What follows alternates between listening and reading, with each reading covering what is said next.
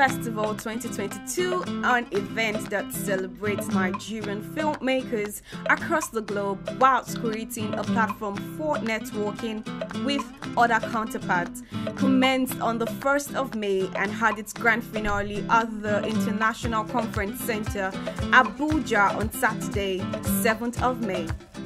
Film works must be protected, and as a creative and export commodity, owners must earn money. The event themed Show the Money had personnel from within and outside the country in attendance to celebrate its 12th edition with the FCT as the host city for the first time. I can boldly state that today, the Nigerian film industry is now the most important platform for showcasing Nigerian arts and culture to the world. Today, we have witnessed another watershed. Abuja is now designated the official host city of Zuma Film Festival.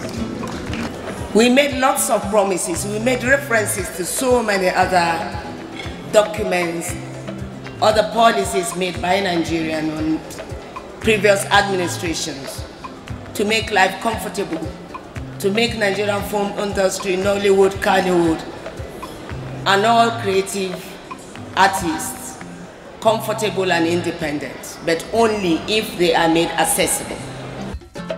The Zuma Festival plaques, which symbolizes Nigerian unity and strength in diversity, were presented to winners of several award categories.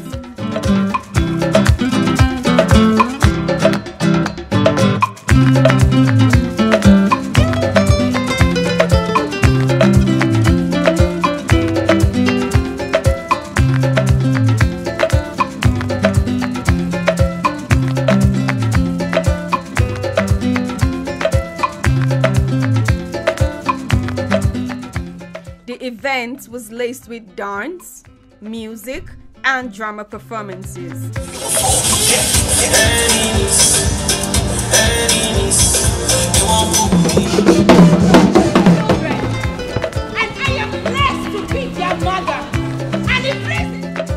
The festival sure left the attendees with hope for the future of young filmmakers in Nigeria.